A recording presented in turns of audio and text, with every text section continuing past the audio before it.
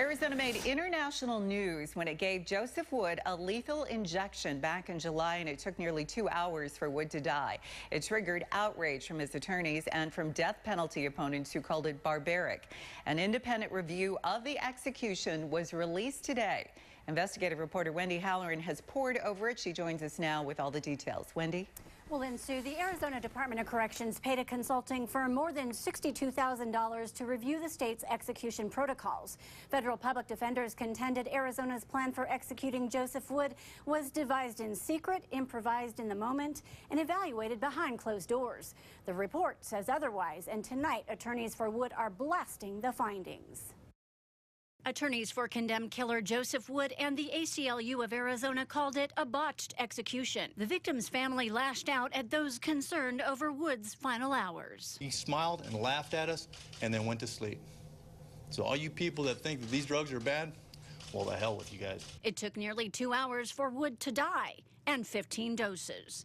All the while, Arizona Department of Corrections Director Charles Ryan was adamant it wasn't botched. Arizona Republic reporter Michael Kiefer witnessed the execution and characterized it this way. It was a clear gasp, you know, and it just sort of looked like a fish opening and closing his mouth. Wood was gasping for more than an hour, and there was an emergency hearing with attorneys for Wood trying aimlessly to get corrections officials to halt the execution and resuscitate him.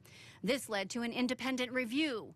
The report found it was not botched, concluding that at all times following the administration of the execution protocol, the inmate was fully sedated, was totally unresponsive to stimuli, and as a result did not suffer. The Pima County medical examiner is cited as reporting that the breathing pattern exhibited by the inmate prior to his death is a normal bodily response to dying, even in someone highly sedated. However, the review recommended Arizona scrap the lethal injection protocol used in the Wood execution, and that means DOC will no longer use the two-drug combination of midazolam and hydromorphone, and will instead rely on a three-drug cocktail that includes midazolam. Now, in a statement to 12 News, Wood's attorneys say the report released today does not answer the question of why the experimental drug protocol did not work as promised.